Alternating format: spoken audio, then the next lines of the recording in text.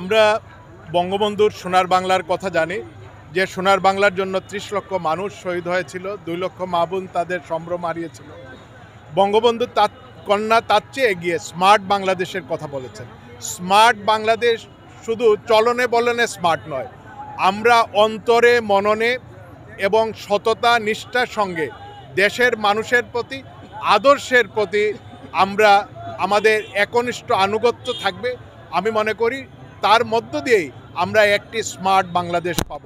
বঙ্গবন্ধু কন্যা জয়ন্তী শেখ হাসিনা যে তিনশো জন প্রতিনিধি তিনি মনোনীত করেছেন, আমি মনে করি আমাদের প্রত্যেকের উপর তিনি আস্থা এবং যে ভরসা রেখেছেন, আমরা আমাদের সততা এবং মানুষের সঙ্গে সম্পৃক্ততা রেখে সরকারের উন্নয়নকে পৌঁছে দিব, তাহলেই স্মার্ট বাংলাদেশ বিনির্মাণ করতে পারব এবং আমি অত্যন্ত আনন্দ এবং কৃতজ্ঞ যে আল্লাহর অশেষ মেহরবানি এবং বঙ্গবন্ধু কন্যা জয়ত্রী শেখ হাসিনা বাংলাদেশের মহান জাতীয় সংসদে আওয়ামী লীগের পক্ষ থেকে আমাকে আমার এলাকার মানুষের প্রতিনিধিত্ব করার জন্য মনোনীত করেছে।